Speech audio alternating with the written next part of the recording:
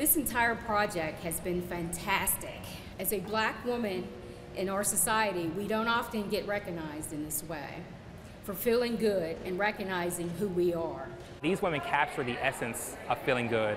Being able to go through things and at the same time find the joy in the world around them was the main thing for this, and I believe that's what helped me to continue to move forward and complete today. So the idea behind it was to paint people I either know or that I have met. I specifically want to paint black women for this project as well, and I mentioned that to Kenny, and Kenny mentioned that there may be some women here at the airport who would possibly love to be a part of this project.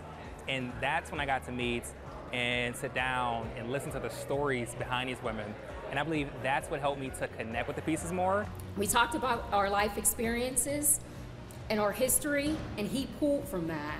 To the eight black women who agreed to be featured as part of this project, thank you for being vulnerable. Thank you for sharing your story. Because we know it's not just about the imagery, but it's about the story that those pictures tell. And to do that takes a lot of bravery. When we do something, I believe we have our idea of it, we have a vision of it.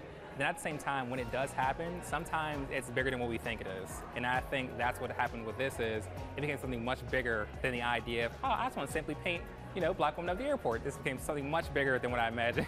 We're proud to be part of such a dynamic art project that crosses into important diversity initiatives.